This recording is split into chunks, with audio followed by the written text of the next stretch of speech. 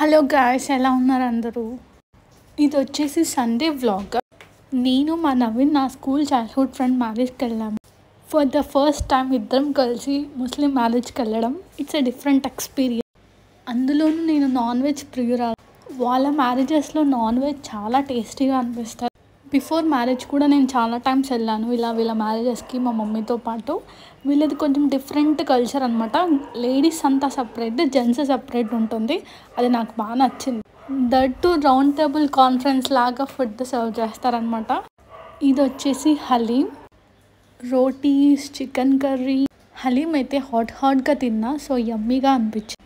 ఇవి వచ్చేసి starters chicken lollipop and something chicken రెసిపీసే అనమాట ఇది కూడా. మీ అందరికి ఒక డౌట్ రావచ్చు. లేడీస్ సెక్షన్ సపరేట్ అన్నారు కదా మరి మీరు ఇలా కూర్చున్నారు. అక్కడ కొంతమంది కిడ్స్ ఉన్నారు వాళ్ళతో పాటు కూర్చున్నాం.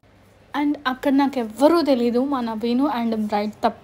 నాకు ఒక్కదాన్ని కూర్చొని తినే హ్యాబిట్ అస్సలు లేదు. నవీన్తో తిని అలవాటు ఉంది కాబట్టి తనతో పాటు కూర్చున్నాను ఎవరేమన్నా అనుకుని అని. ఇద్దరం కలిసి కబుర్లు చెప్పుకుంటూ ఫుడ్ని ఎంజాయ్ చేస్తూ అలా సరదాగా పిల్లలతో మాట్లాడుతూ అండ్ ఫైనల్గా బ్రైట్ని కలిసి టాటా బాయ్ బాయ్ చెప్పేసి వచ్చి.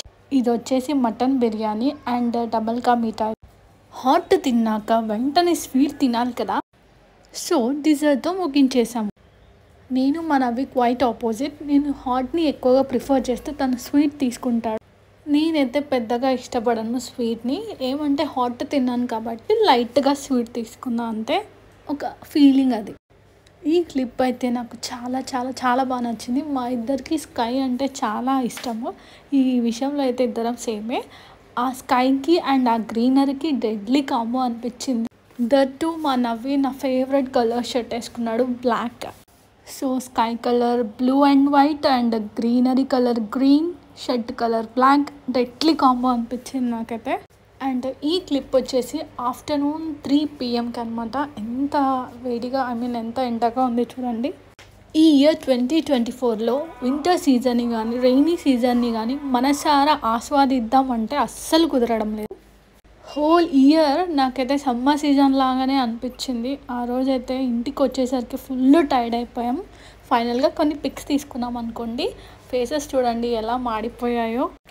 Finally here comes the bright. Hug చేసుకొని హ్యాపీ మ్యారీడ్ లైఫ్ చెప్పేసి ఇంటికి వచ్చేసాం ఇద్దరం కలిసి.